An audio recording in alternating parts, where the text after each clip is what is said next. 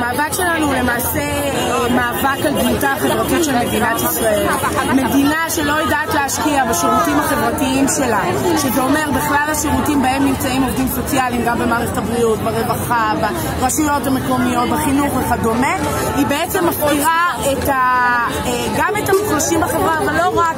העובדות סוציאליות למעשה פוגשות את כל האוכלוסייה בכל מעגלי החיים. אה, כל אחד ואחד מהאזרחים עלול סוציאלית בשלב כל כזה או אחר בחייו, ולצערנו הוא לא יצליח לקבל את השירות הזה בתנאים הנוכחיים.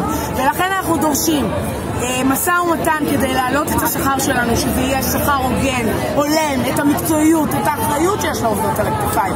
אנחנו דורשים טיפול מיידי בנושא המעמסה, ובטח של המוגנות של העובדות, אה, שלא ייתכן שהן הולכות, קמות בבוקר, הולכות לעבודה ולא יודעות באיזה מצב הן יחזרו הביתה. אמרת, אמרת שיש אה, ניסיונות לעשות הפרד ומשול בין העובדות הסוציאליות. את יכולה לפרט קצת איך זה מתבטא?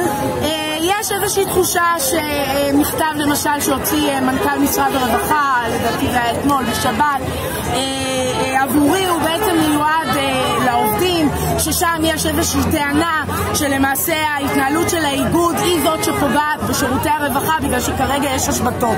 ואני אומרת, אדוני היקר, מצבם העגום של שירותי הרווחה לא התחיל היום, לא אתמול ולא בשנה האחרונה, ולכן את המשבר בשירותי הרווחה עליכם לפתור. אני לא חושבת שאתם יושבים וצריכים לחכות לענבל חרמוני שתבוא ותאיר את עיניכם עד כמה המצב גרוע. איפה הייתם עד עכשיו?